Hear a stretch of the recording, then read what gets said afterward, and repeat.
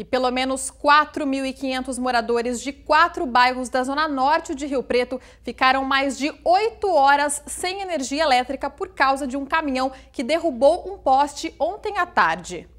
O acidente foi na Avenida Alfredo Antônio de Oliveira, no bairro Duas Vendas, região norte de Rio Preto. O motorista de um caminhão da prefeitura bateu e derrubou um poste de energia elétrica. O homem de 44 anos, que ficou preso nas ferragens, foi socorrido e levado até a UPA Norte. Como ele precisou de atendimento, a polícia não fez teste do bafômetro. Com a batida, a energia elétrica foi interrompida na região. Outro caminhão que passava pelo local enroscou na fiação, prejudicando ainda mais o fornecimento de energia.